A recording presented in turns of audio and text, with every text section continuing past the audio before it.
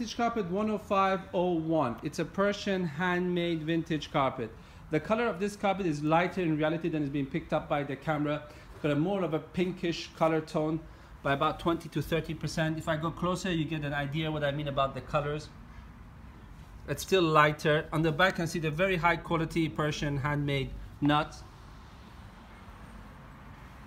So you can get an idea. It's a just the pinkness of this carpet. I need to go back. The further back I go, the more accurate. Okay, this is perfect. So this is the color of the carpet exactly. This is why we take these videos so we can explain the carpet color, the quality and the condition of the carpet. So sometimes in the pictures they don't look exactly the same. And also we can highlight like where this carpet has had restoration work done. So the carpet has had restoration work done in this part of the carpet. But again, to very good quality and standard.